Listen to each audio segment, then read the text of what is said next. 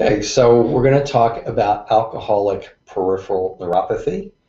And um, I'm Dr. Martin Rutherford. I'm board certified. Uh, no, I'm not board certified. I'm a certified functional medicine doctor. Dr. Gates is a board certified chiropractic neurologist who practices functional neurology.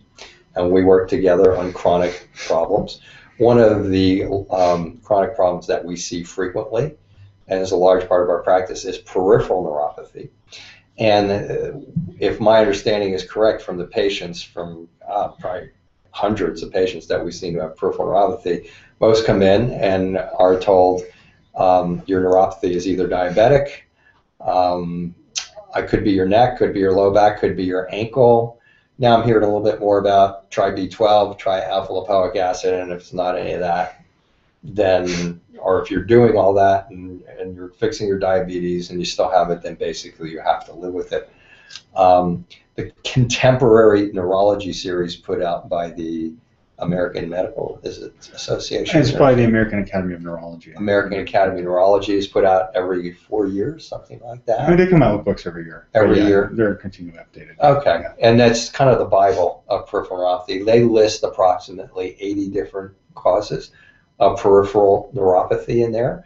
Um, we kind of think they're right based on what we've seen in, in, in our practice. And one of the one of the types, one of the causative factors of a certain type of peripheral neuropathy is um, alcoholism and alcoholic uh, peripheral neuropathy.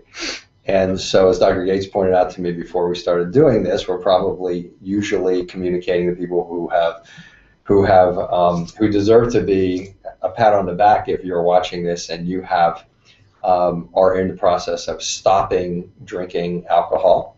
Um, that's not an easy thing to do. It's not an easy thing to accomplish.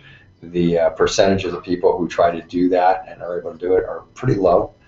Uh, so, however, we do see them, and they come in with peripheral neuropathy, and there are uniquenesses to the alcoholic peripheral neuropathy that differ from some of these other 79 different things that uh, that will create burning, numbness, tingling, sharp shooting pain, and a variety of different um, symptoms that you get in your feet.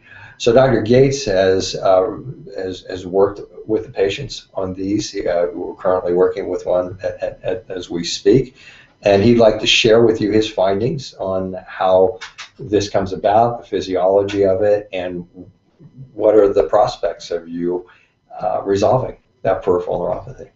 Okay. And so, with alcoholic peripheral neuropathy, we know that alcoholism by itself can cause a vitamin B1 deficiency. Vitamin B1 is thiamine, and thiamine basically is important in a lot of biochemical pathways, including processing carbohydrates.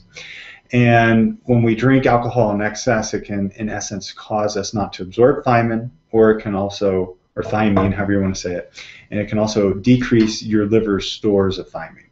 Now, with that being said, we're now seeing that alcoholic neuropathy is a separate entity from thiamine deficient neuropathy. And the reason being is that in the literature they have observed patients with peripheral neuropathy who were alcoholics, who were drinking basically in excess of 100 grams of alcohol a day for 10 years, and they have normal thiamine levels. So lots of times these are well nourished alcoholics where they're eating good while they're drinking in excess.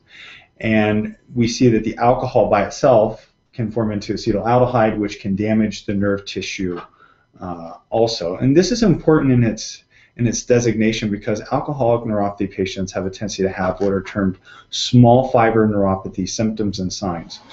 With peripheral neuropathy, we have the nerves that are in essence dying down there in the feet. And with that, there are many sizes of other nerves within a big nerve like your sciatic nerve. Some are really small in diameter, some are big in diameter. It's these small diameter ones that are preferentially affected in alcoholic neuropathy. Again, those who drink in excess and were well nourished. And when we get small fiber neuropathy occurring, basically small fiber nerve fibers encode pain and temperature. So it's not uncommon that the alcoholic neuropathy patient has burning pain in their feet, sharp shooting pains in their feet. And when we examine them, they preferentially lose things like pain temperature or their pain temperature and you know pinprick senses are heightened down there in the feet. One of other way of diagnosing a small fiber neuropathy is by doing what is termed an intraepidermal nerve fiber density test, which is where we go in and we cut out a little piece of skin and they put it under a microscope slide and they look and see how many little nerves are there. But you can diagnose small fiber neuropathy on a clinical basis without having to use something called a QSART test. And that is what a lot of you alcoholic neuropathy patients are facing now that you've basically detoxed and you are in your rehabilitation from that disease and many people come to us complaining of these burning pains in their feet, not knowing really what's going on, and it's neuropathy so commonly. So that is what I really wanted to You go back to your diagnosis. You can Uh-huh. get the uh, elec- uh, electrodiagnostic test on small fiber peripheral. And lots of times, if you get electrodiagnostic testing, it will be normal. So you'll go to your wow, neurologist, people come in and go, "Why? I can't have that." and neurologists are very busy, and lots of times uh, may not be really thinking small fiber neuropathy. You know, it's just in my clinical Mhm. experience, we see it all the time, Mhm. where the person goes in for a nerve conduction velocity test, an EMG test, and it will come back normal, and the person's told they're normal. They stick needles in you down there, and they run an electrical current in there, and they see how how the nerve's functioning or how it's transmitting the, the nerve impulse, how quickly or whatever. And I, the reason I mention that is because I have a lot of people come in. I do the I do the intake interviews, and I and, and I get a lot of people. But my test was normal. They said I didn't have it. Right. And and and I want to just a, another quick point because you you mentioned this. What type of in-office test would show that they have it? That's Lots so of times simple. running a pinwheel down the person's leg and seeing what happens as we get into the foot, you'll be surprised. Or checking your Achilles tendon, Checking the uh, reflexes reflex, and checking your-. How well there are uh, temperature thresholds that we do where we can see, okay, can you feel a certain temperature at a certain point? Very simple tests. Now, the re- and I wasn't being denigrating at all to the medical neurologists. Right, Please right. know that we love. No, but I just wanted to draw because these are the things that folks. Right, and people wanna need to know both sides of the equation. Yeah. And there are other tests for small fiber neuropathy that are more laboratory tests, like I talked about the intraepidermal nerve fiber density. Also, something called a QSART test, which is a quantitative sudomotor axonal reflex technique. Big word, that's done at specialty centers where basically they test how well you sweat. There are other simpler tests that are coming out which have some pretty good sensitivity uh, and specificity varies, termed the neuroderm test, I believe, and basically it tests how well you sweat on your foot, which is a function mediated by small fibers, small fiber nerve fiber. Yeah.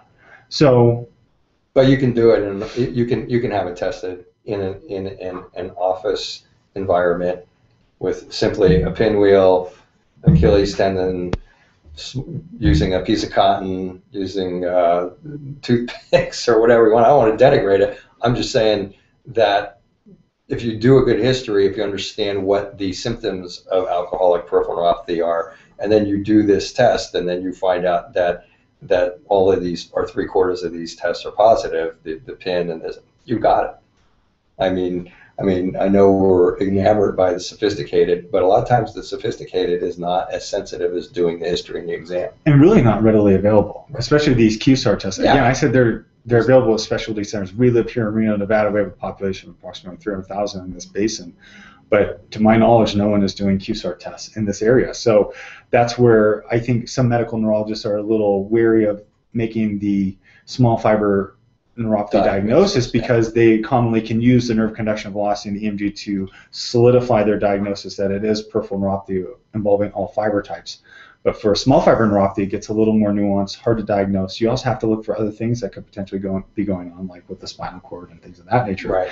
So we rule those things out in making our diagnosis. But just know if you have alcoholic neuropathy, another thing that we haven't talked about is that we do use techniques to stimulate the nerves in our office, electrical stimulation. And we've talked in other videos regarding neuropathy that basically the literature shows that you can go in and you can stimulate these nerves back into life for at least a couple days. But the underlying metabolic cause has to be addressed. And so, if you can address the metabolic cause, in your case it was alcoholism, you eliminated that. And if we can go back in and give you certain nutrients, maybe to rebuild your nerves back while stimulating your nerves, there's a possibility.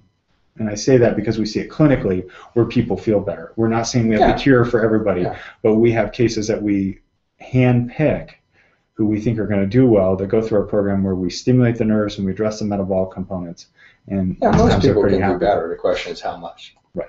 You know, substantially or, or For whatever. how long? For some people, fifty percent might be substantially, but not, but we see some pretty consistently good results with those techniques. So, okay, Yeah, that's all I wanted to point out. and if you have any other questions on this matter, you can go to powerhealthtalk.com and leave us a question there, or you can go to our Power Health Facebook page and send us a message and like us. Okay. Thanks for watching. Have a good day.